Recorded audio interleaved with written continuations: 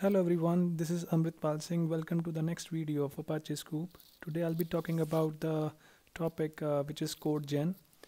Code gen uh, stands for code generation. So uh, this is our today's topic and uh, I'll be uh, just using one example to help you understand that what's the what's the meaning of code gen, right? So stay with me. Uh, the first thing I would like to now discuss is what's the formal definition of code gen, right? So uh, like uh, uh, the reason i have uh, chosen this video or, or reason i have made this video because understanding of code gen is quite important. Because as internally uh, it converts our Sqoop job into the jar which consists of several java classes. So okay so uh, like if you're from the java background you must be aware of these words which i've written here orm pojo. So let me just again clarify what this stands for so uh, this uh, POJO stands for plain uh, old Java object. It is an ordinary Java object uh, which is not bound by any special restriction other than those forced by Java language specification and uh, not uh, requiring any class path. So it are it is required for increasing the readability and reusability of a program. This is the meaning of this POJO which stand for plain old Java object. Then we have ORM. ORM um, again uh, it's a uh, it is from java background. It stands for object relational mapping.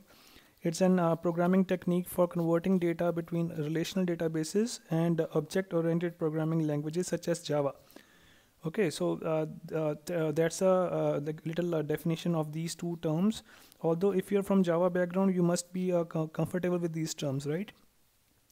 Okay so it internally converts a Sqoop job into the jar which consists of several java classes and a class that implements DB writable uh, extending Sqoop record to read and write and uh, data from the relational databases to the Hadoop and vice versa.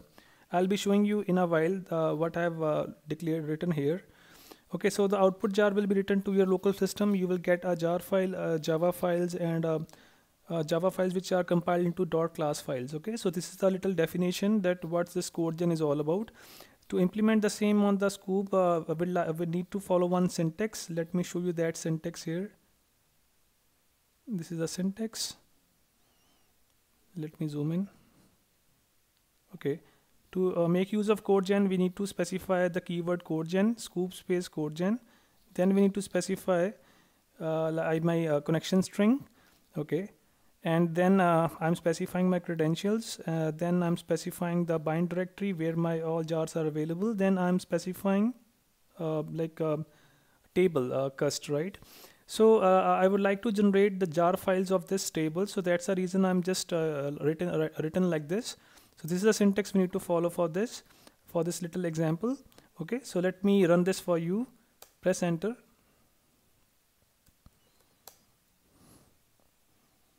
wait for a while. Okay you can see now uh, I've got the answer like uh, that the file has been written to this location under the Sqoop lib cust.jar so let me show you this what we got inside this jar file right? We need to go to this location. Uh, we have a Sqoop available. Under Sqoop we have a library. Here we got let me do in this way. And we must be getting cust files right? Which is cust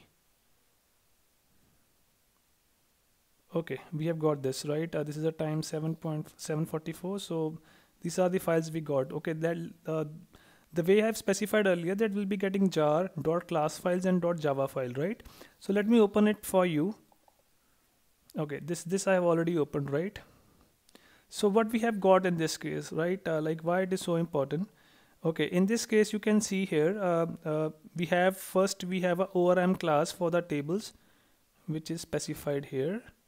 Okay, ORM class, fine, which is implements the DB writable, right? Now, uh, then we have uh, which is uh, this is a ORM stand for object relational model generated for mapping okay then what we got we got get and uh, setter methods.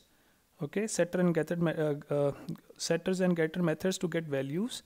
Okay so uh, one more thing i would like to now uh, show it to you. We have one thing available here called read fields right? This one.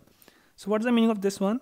Actually like although uh, we are not aware of this fact but internally it uses JDBC prepared statements to write to the Hadoop and result set to read data from Hadoop okay so maybe we are not we are unaware of this fact that what is going on behind the scenes but this is the uh, things which are helping the um, uh, helping us to uh, write to the Hadoop and uh, we, we are using a result set okay uh, to read the data from Hadoop. So this is the like behind the scenes functioning okay? When you run this code gen you'll be getting a lot of stuff. You're getting java file you're getting jar files and you're getting the dot class files. I hope uh, you must have understood the the concept so this is the video like uh, which i have uh, like decided to just uh, to discuss this small thing uh, which is uh, which is called code gen which is stand for the code generation. I hope you must have understood. In case if you have any confusion just uh, comment right? Thanks for watching. See you next video